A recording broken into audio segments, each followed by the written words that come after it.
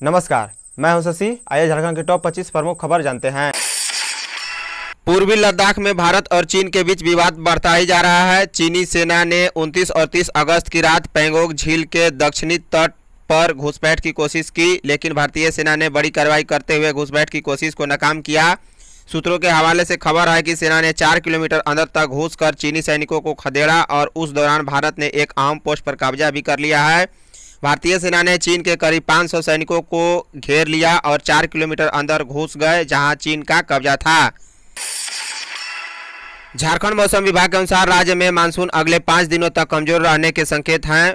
मौसम विभाग के अनुसार 7 सितंबर तक राज्य के अधिकांश क्षेत्रों में मौसम साफ़ रहेगा। राज्य के दक्षिणी भागों में अगले दो दिनों के बाद बादल छा सकते हैं।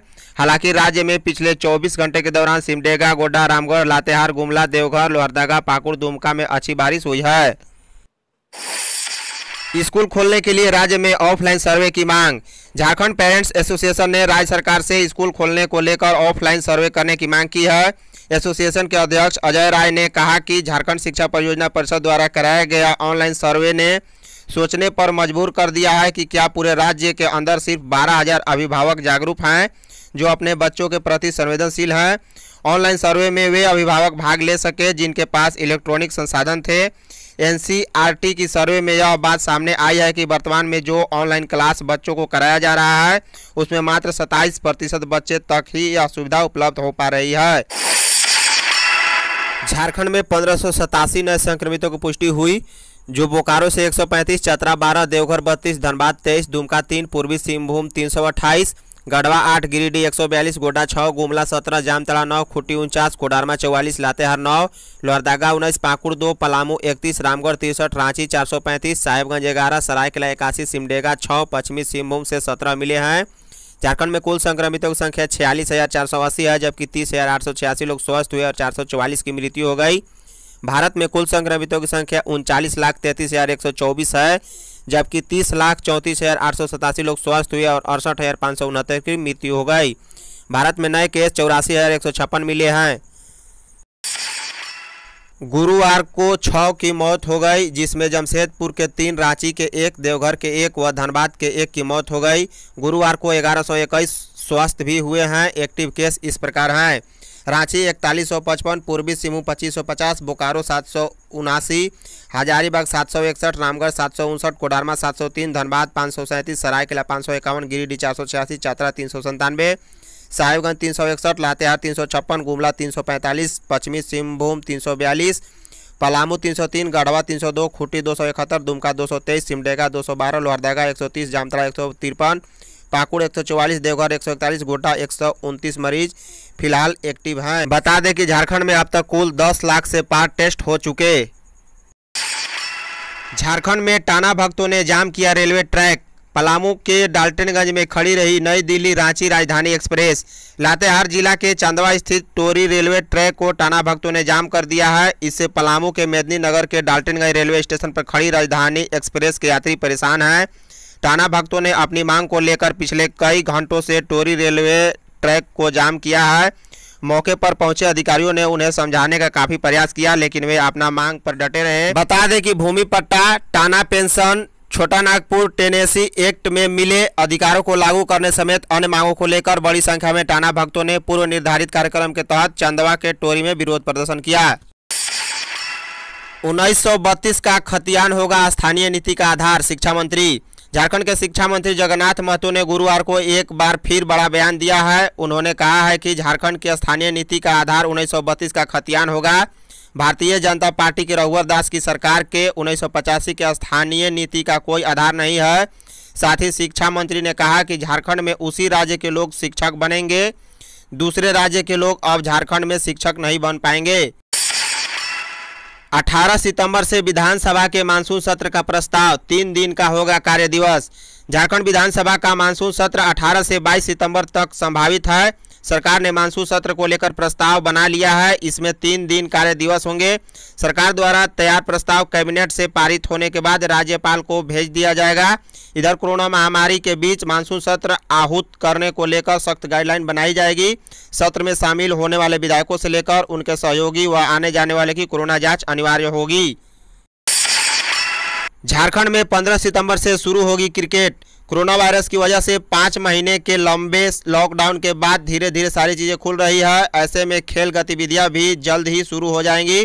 झारखंड में क्रिकेट गतिविधियाँ शुरू करने की तैयारी चल रही है। जल्द ही रांची स्थित झारखंड स्टेट क्रिकेट एसोसिएशन के स्टेडियम में टी ट्वेंटी टूर्नामेंट शुरू होने वाला है। बता दें कि इसके लिए सुरक्षा के कड़े मापदंड तय किए गए हैं। कहा गया है कि झारखंड में मैच खेलने वाले हर खिलाड़ी का कोरोना वायरस टेस्ट कराया जाएगा।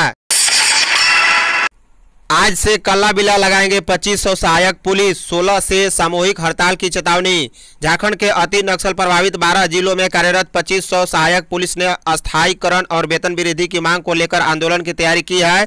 निर्धारित कार्यक्रम के तहत 4 सितंबर से 6 सितंबर तक काला बिला लगाकर सभी सहायक जवान अपना विरोध प्रदर्शन करेंगे।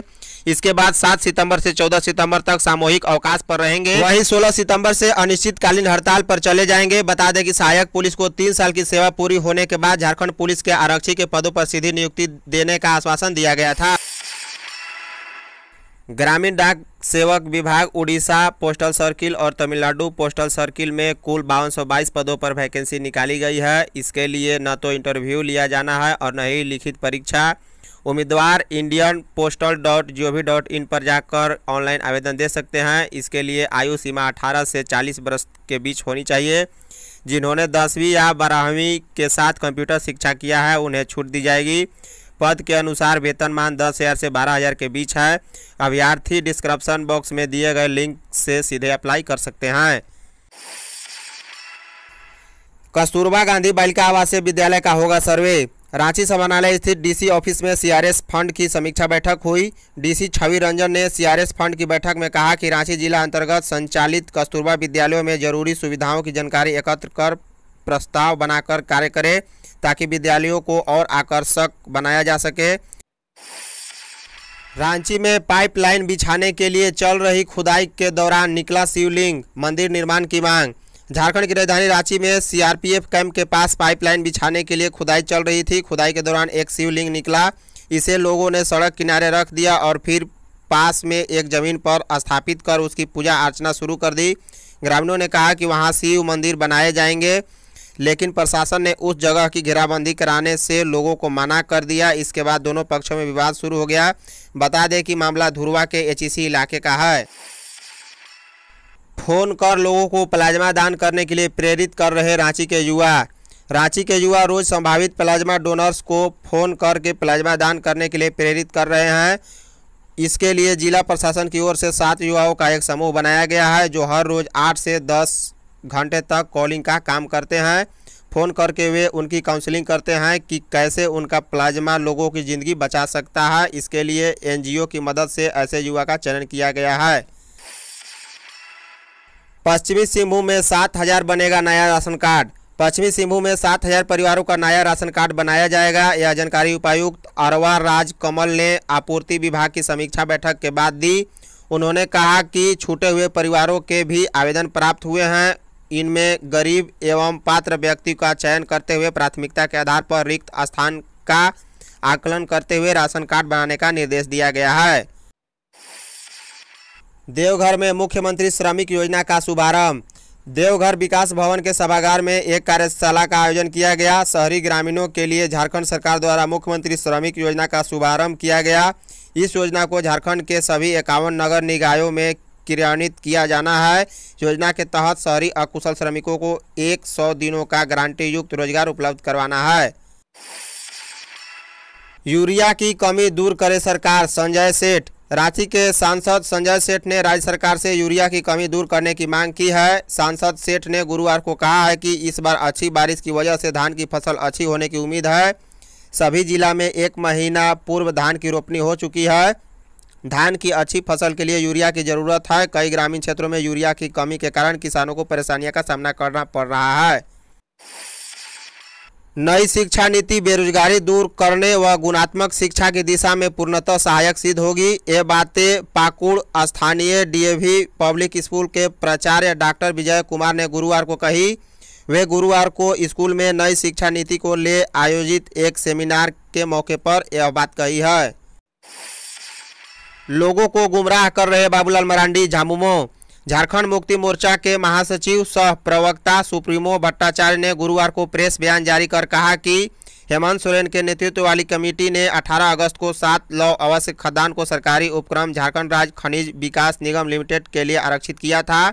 उन्होंने कहा कि इस फैसले पर आपत्ति दर्ज कराने वाले भाजपा नेता बाबुलाल मरांडी को यह बताना चाहिए साल भर पहले जब वह झारखंड विकास मोर्चा के अध्यक्ष हुआ करते थे, उस वक्त इन्हीं सात लौ अवश्य खदान के अनुज्ञप्तिधारियों के खिलाफ किस भाषा का प्रयोग करते थे और रघुवर राज्य में इनको पहुँचाए गए फायदों के खिलाफ क्यों बोलते रहे? गुमला उपायुक्त ने सरकारी विद्यालयों के परीक्षा परिणाम में सुधार लाने का दिया निर्देश। गुमला उपायुक्त शिशिर कुमार सिन्हा की अध्यक्षता में गुरुवार को शिक्षा विभाग के कार्यों की समीक्षा बैठक हुई। बैठक में उपायुक्त ने इस वर्ष कस्तूरबा गांधी बालिका आवासीय विद्यालयों के इंटर परीक्षा के परिणाम तथा अन्य सरकारी विद्यालयों के इंटर परीक्षा के परिणाम की समीक्षा की, जिसमें बताया गया कि इस वर्ष कस्तूरबा गांधी बालिका आवासीय विद्यालयों द्वारा इंटर परीक्षा का परिणाम नवासी प्रतिशत दर्ज किया गया, जबकि अन्य सरकारी विद्यालयों के इंटर परीक्षा का परिणाम सत्तर प्रतिशत पाया गया। मनरेगा कर्मी काम पर लौटे, सरकार उनकी मांगों पर विचार करने को तैयार, मंत्री आलमगीर। राज्य के ग्रामीण विकास मंत्री आलमगीर आलम ने कहा है कि हड़ताली मनरेगा कर्मी काम पर लौटे। राज्य सरकार उनकी हर मांगों पर विचार करने को तैयार है। उन्होंने यह भी कहा कि मनरेगा कर्मियों के संघ के प्रतिनिधियों के साथ हुई बातचीत में उनकी अधिकांश मांगों पर सहमति भी बन गई थी। झारखंड के कलाकारों को सरकार देगी आर्थिक मदद। कोरोना काल में आर्थिक तंगी झेल रहे कलाकारों को राज्य सरकार ने मदद करने की योजना बनाई है। इसके लिए कला संस्कृति विभाग की ओर से कलाकारों को एक एक हज़ार रुपये की आर्थिक मदद दी जाएगी। साथ ही विशेष दिवस पर जिला मुख्यालयों में ऑनलाइन कार्यक्रम शुरू करने की भी योजना है। रांची में किसानों के लिए शुरू होगी कृषि पाठशाला। रांची में अब खेत पर ही उन्नत खेती की व्यवहारिक जानकारी देने के लिए कृषि पाठशाला का आयोजन होगा। प्रखंडवार आरंभ होने वाली कृषि पाठशाला का उद्देश्य किसानों की आय को दोगुना करना है। इसकी शुरुआत जल्द ही होगी। पहले चरण में मशरूम की खेती से जुड़े किसान पाठशाला में सम्मिलित होंगे। नक्सल अभियान को लेकर बनेगी बड़ी रणनीति। नक्सल अभियान को लेकर झारखंड पुलिस बड़ी रणनीति बनाने में जुटी है। सात सितंबर को झारखंड पुलिस और सीआरपीएफ के सभी जिलों में तैनात कमांडेंट एवं डीआईजी स्तर के अधिकारी को भी बुलाया गया है। डीजीपी एम बी राव की अध्यक्षता में बैठक बुलाई गई है। यदि आप चैनल पर नए हो तो चैनल को सब्सक्राइब कर, बॉल का बेल आइकन दबाइए। साथ ही साथ वीडियो को एक लाइक कर, अपने दोस्तों को व्हाट्सएप, फेसबुक, ट्विटर, इंस्टाग्राम पर शेयर करें। आप कमेंट में अपना सुझाव दे सकते हैं। Thank you.